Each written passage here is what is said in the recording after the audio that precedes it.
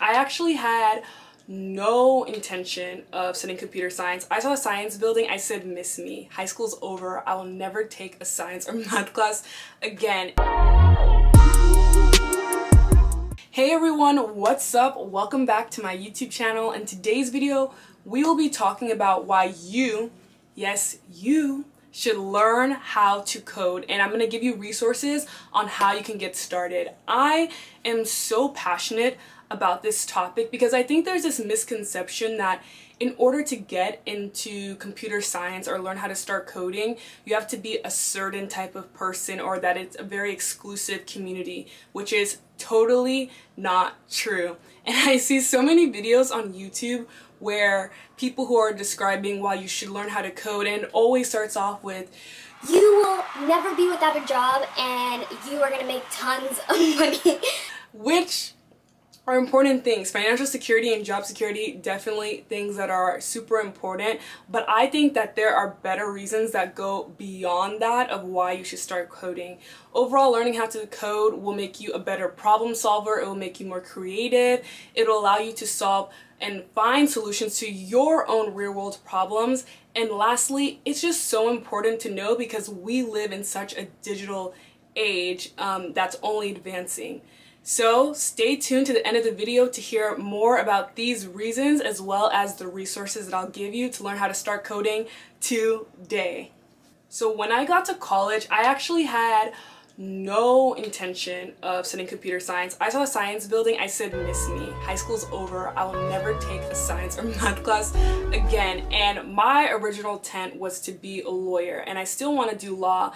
But the reason why I took my first comp sci class was because naturally, you know, you go on Google and I searched up what major performs the best on the LSAT and the first one was computer science. So I wanted that 180, went and took my computer science class and I didn't know that I was going to fall in love with it. I ended up falling in love with it and I am so grateful that I took that class because ultimately computer science and learning how to code allowed me to understand how to solve problems and that there's not just one way to solve problems. It made me a much better problem solver, a much better creative.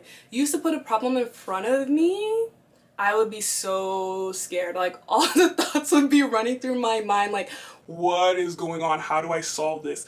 But ever since I've took those computer science classes, it really has got me to understand that in order for you to learn how to solve a problem and a solution, failure is inevitable and it gets you really comfortable with failing and with things not working. And when things don't work, you learn how to tinker and ask yourself different questions.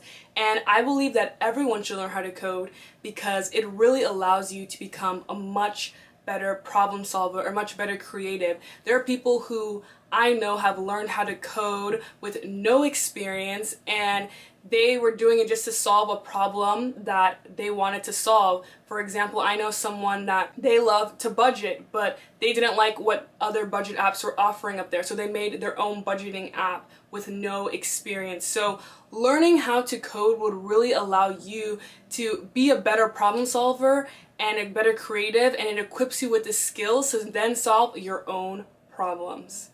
There is this quote that I tell people all the time who are hesitant to code, and I read this somewhere online, and it says, Everyone should learn how to read and write, but that does not mean you have to become an author. Everyone should learn how to solve math problems, but that does not mean you have to become a mathematician. And everyone should learn how to code, but that does not mean you have to be a computer scientist. And in the same way that reading and writing help you to question the world around you, help you to solve problems, coding is also able to do just that.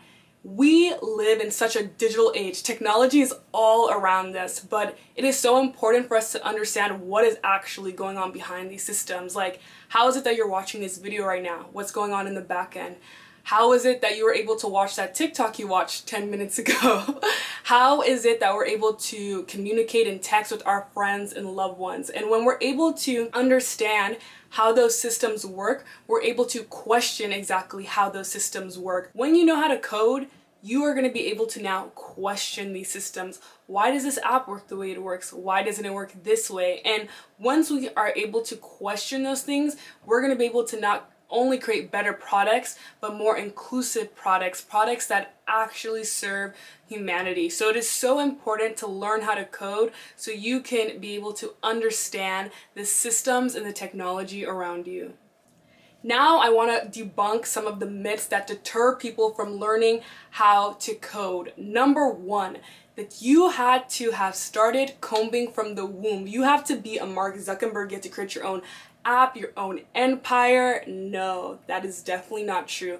I didn't learn how to start coding. I had no experience when I took my first computer science class and I learned my first semester of my sophomore year. And there was people in that class who were coding from the womb, right? And it was very nerve-wracking, but someone once told me it doesn't matter about where you start. If you look at a graph, an X and Y graph, right? It doesn't matter about where you start, that point. What matters is the slope and the trajectory. So if you're putting in the work and you're working hard to understand for yourself, not to please anyone else, not to show up for anyone else, but for yourself, you will do well in it. You will exceed in it. So just remember, it's not about where you start or the point. What matters is the slope. The second myth is that there is no representation in jobs that require coding, which is false. That is not true. I'm a black woman in tech who majored in computer science. There are some of us, while there is a smaller population of people who are underrepresented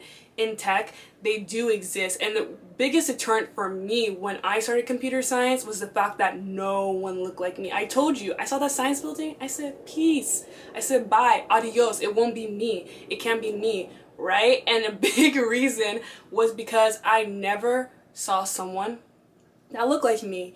And because I didn't see someone that looked like me, I thought internally, maybe I'm not supposed to be here.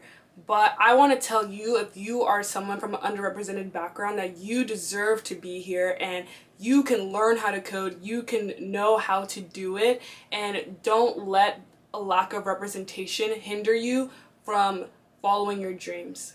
The third and final myth is that there are not many resources to get started, which is also not true.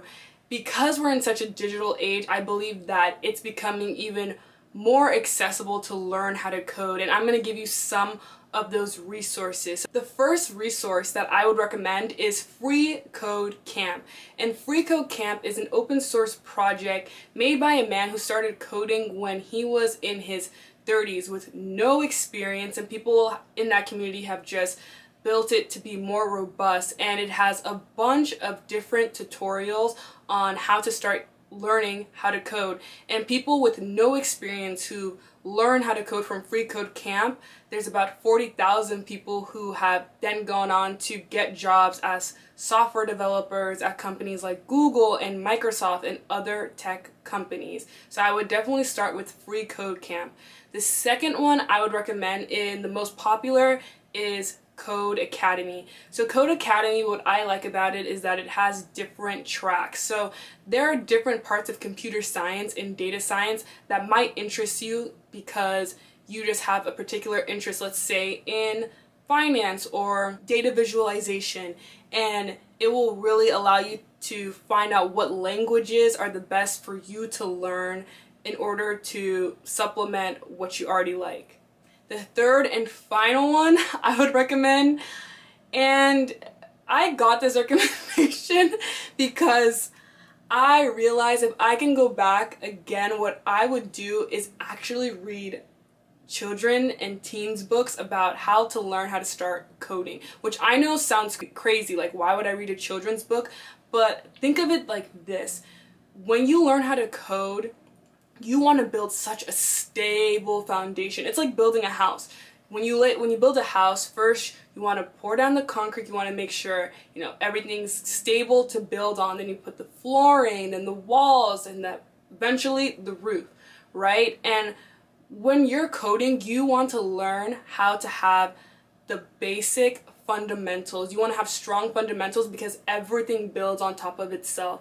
And children's books are put very simply. So they're able to help you understand those fundamental concepts in a way that is not complex to you, which is so important. So I would actually start with reading a children's book and I actually will link one one below. And this was written by a woman who also started coding later in her life as well and is now a developer advocate at Microsoft. It's a great book and I'll link it down below so you can also check that out if you're interested. Thank you so, so much for watching my videos. It means the world to me. When I read the comments and see that my content helps you all, it really keeps me going. I hope this video inspired you to learn how to code. I better be seeing a Google tab open on this browser and talking about Codecademy because we are learning how to code today. That's what we are doing. And if you like this video, please comment, like, subscribe if you want to learn more about other tech content, productivity, lifestyle. I love creating videos on those topics and I'll catch you in the next video. Thanks for watching.